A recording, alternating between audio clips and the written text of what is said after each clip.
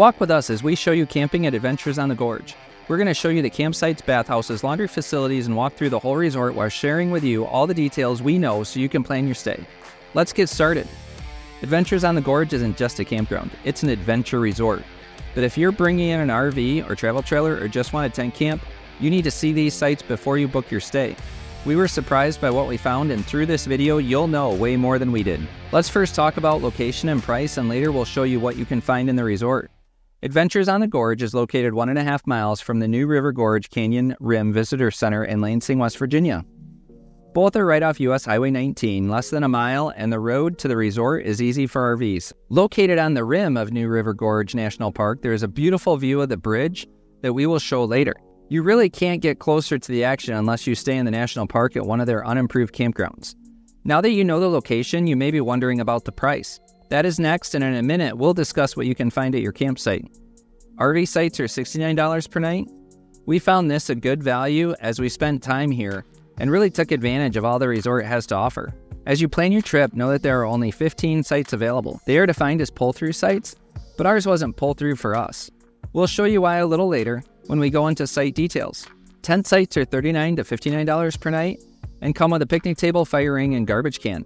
There are multiple areas to tent on the property, and each is a little different. As you'll see, some are in the woods and others are by the RV sites and cottages. The distance to the Canyon Rim Village is another factor that should be considered. We're walking our dogs in this video, and the walk back to Area 3 was longer than we expected and is down in a valley. If you don't have an RV and choose not to tent, Adventures on the Gorge has many cottage options to choose from. We'll put a link in the video description to their website so you can research more. Now let's talk about the activities you can find for free in the campground, and next we'll share what you can find at your campsite. This place is big. If you want a place to walk, there's a lot of room for walking. There are also two hikes on the property.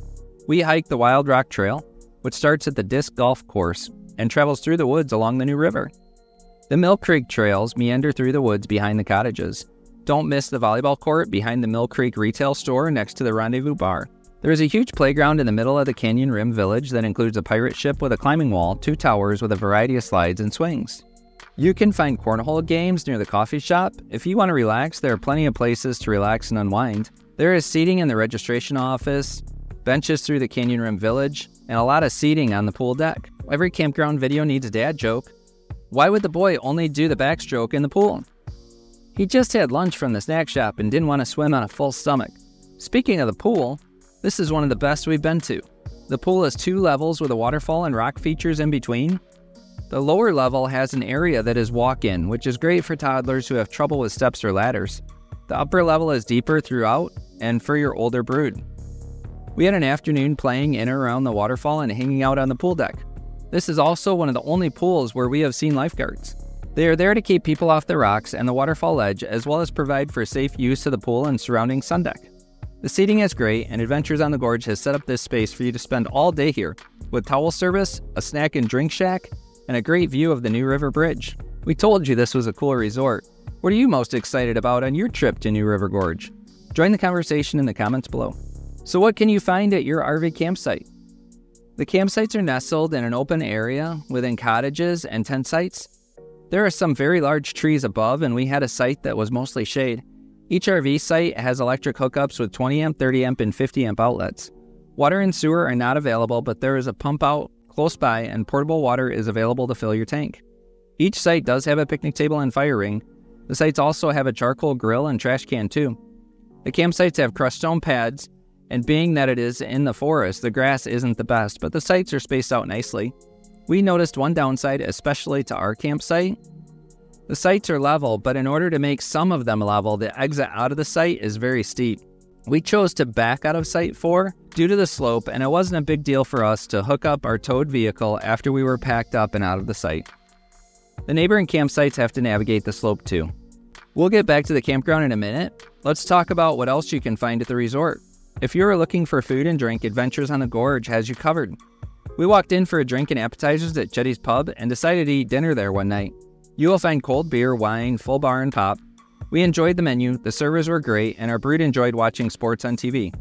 For a slightly more refined taste, the Smokies on the Gorge is more of a restaurant with entrees and steaks. We didn't even see the Rendezvous Bar in the Mill Creek Village.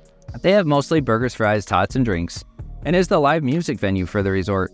Sweet Java Falls is where you go for specialty coffee, tea, and hot chocolate. They are open early, but you can also stop in during the day to get a quick caffeine fix. With the best atmosphere in the resort, Canyon Falls Snack Shack is poolside and has frozen drinks for adults, quick bites, ice cream, and other treats and drinks for all ages. Plan on spending at least one of your meals enjoying what the resort has to offer. Chances are you'll find a way to go back for more. Are you hungry now?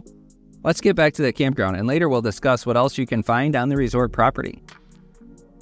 Located near RV Site 4 is the bathhouse. Here you will find a row of separate stalls. In the men's bathroom, we found clean showers and toilets.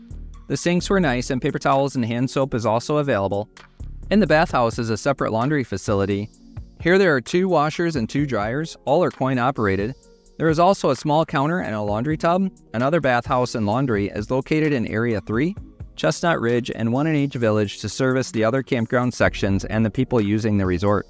The dump station is in an open area that is easy to get to behind the parking lot in Mill Creek Village. You can uh, fill up your freshwater tank here or at the south end of the campground. Are you getting a feel for how big this resort is? Well, it's about to get bigger. You've heard about the free activities in the park? For a fee, you can enjoy more.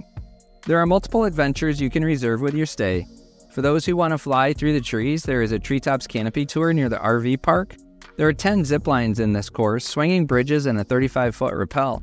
Check with the resort for age and weight restrictions. Next on our list is the TimberTrek Adventure Park. This is kind of a self guided thing where you can enjoy multiple challenges while attached to a harness. The minimum age is 4, so your brood should be able to find a course that is right for you. Third on our list is laser tag and paintball. The course is deep in the forest with large trees, obstacles, and barriers to plan an offense or shelter in defense. With all these adventures, you'll be sure to find something. But if you want more, the resort has other tours including mountain biking, horseback riding, or V tours, rock climbing, and more.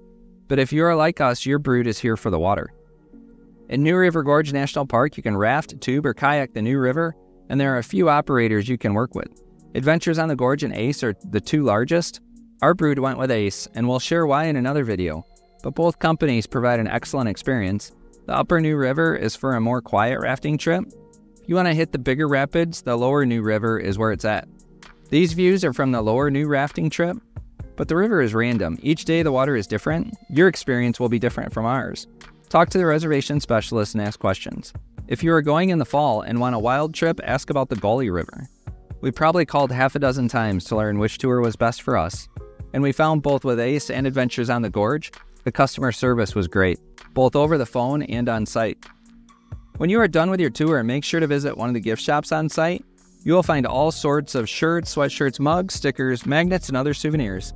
If you forgot something, they also have sunscreen, sunglasses, hats, water gear, camping supplies, snacks, and more. To learn more about New River Gorge National Park, watch this video next.